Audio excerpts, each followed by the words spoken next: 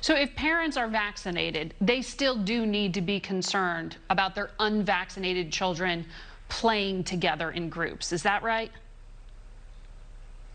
Yeah, the children can clearly wind up getting infected. When we talk about what you can do when you're vaccinated, you can certainly have members of a family, if the adults are vaccinated, and you're in the home with your child, you don't need to wear a mask and you can have physical contact.